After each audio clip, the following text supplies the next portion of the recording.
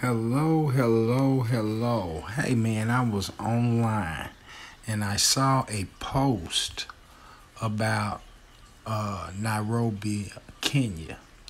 And many of the commenters on the post were saying things like not impressed with buildings, but it just made me wonder what does it really look like for myself. So what we're going to do is go into my travel group and uh, search up hotels in Nairobi, Kenya.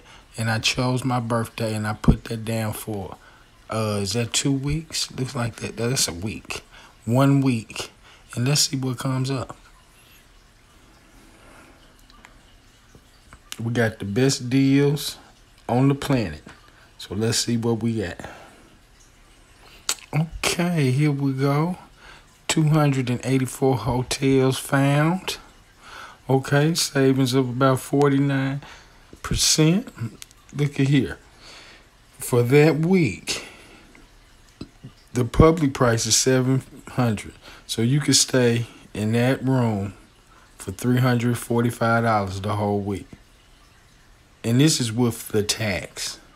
Total tax 355 Okay? Let's let's look at some more. Here we go. Public price fourteen hundred. The savings is six hundred and fifty six. The total price with tax seven hundred and seventy nine. Look at that. That's that's how what percent? That's forty six percent. Look at that one. Forty nine percent. The public price is seven hundred you're gonna save 345 your total is 340 let's look at that's the eco hotel. Let's look at some more. The paris hotel. Looks like a typical hotel. Uh public price 595 save 260 total 327 that's a whole week. A whole week to explore africa. Look at the savings Look at this nice place right here. Public, 1000 save over $400. Total is $658. Let me hit this compare. Well, let's look at a couple of more of them so we can see. The Boma Nairobi. Total 630.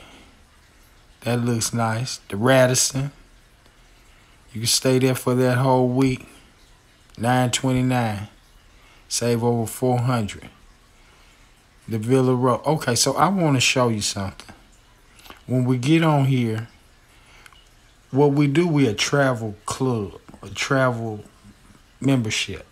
And we compare and can beat all the prices. So let me show you who who you who you uh you probably try to go to before you go to me.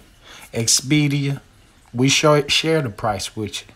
Expedia, Travelocity, Hotels.com, Orbitz, Cheap Tickets, and Hotwire. And these prices include the tax. So we show you a real deal on these rooms. Look at that. Total for a whole week, $245. That's Nairobi Kenya. And we got pages and pages and pages of savings. So, hey, man, I think it's our time to travel and see what's really going on.